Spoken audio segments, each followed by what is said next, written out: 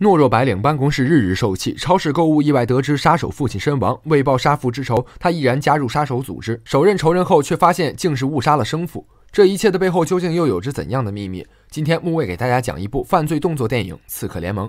男主维斯是一个性格懦弱的小职员，他天天到处受气，却不敢吭声。这天他在超市买东西，突然出现一个叫火狐的性感美女，跟他说：“你爹是个顶尖杀手，昨天被人杀了，留了一笔遗产给你。”维斯一愣：“什么鬼？自己不是一个孤儿吗？什么时候冒出一个爹？”火狐带他来到一个基地，一个叫老黑的人走了出来，并给了他一把枪，还说这是他爹生前用的。老黑表示，枪和遗产已经转交给你了，刺客联盟欢迎你加入，为父报仇。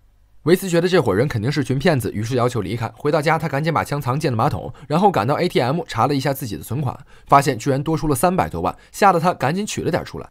次日，他照常去公司上班，领导又跑来不停地训斥他。有了底气的维斯这回不忍了，直接开口怼了回去，还把平时欺负他的同事给揍了。之后，维斯一脸爽快地离开了公司，来到楼底他，发现自己因为超市枪战的事情被警方通缉了。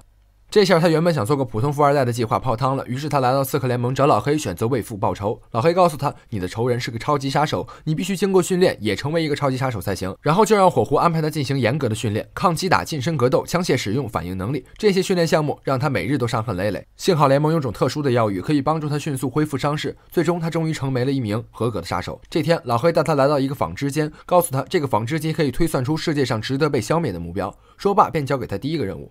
维斯觉得这个选目标的方法也太扯淡了。火狐告诉他，以前有个新来的同事也觉得扯淡，就没有去执行任务。后来任务目标上的人把自己的全家都杀了。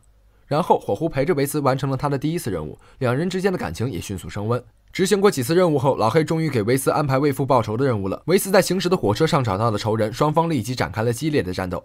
突然，行驶在大桥上的火车侧翻脱轨，危机中，仇人居然伸手抓住了维斯。维斯趁机给仇人补了两枪。爬上去后，奄奄一息的仇人告诉维斯，自己才是他爹。震惊的维斯不小心让枪走火，两人从高空上坠落了下去。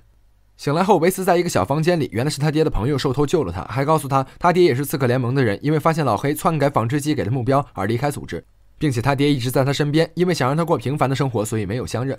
了解真相的维斯开着车冲进了联盟的基地，他一路杀到老黑办公室，精英杀手和老黑都在这里。维斯爆料到老黑篡改纺织机目标，老黑说道：“纺织机出现了我们所有人的名字，你们要自杀吗？”杀手们默然，但是火狐相信维斯，也坚信纺织机的准确性。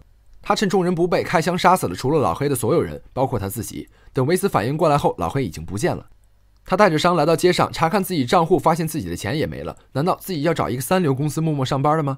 几日后，老黑发现了维斯新的工作地点，正要开枪，却发现这根本不是维斯。他知道自己中圈套了，下一秒，维斯就从远处开枪狙杀了老黑。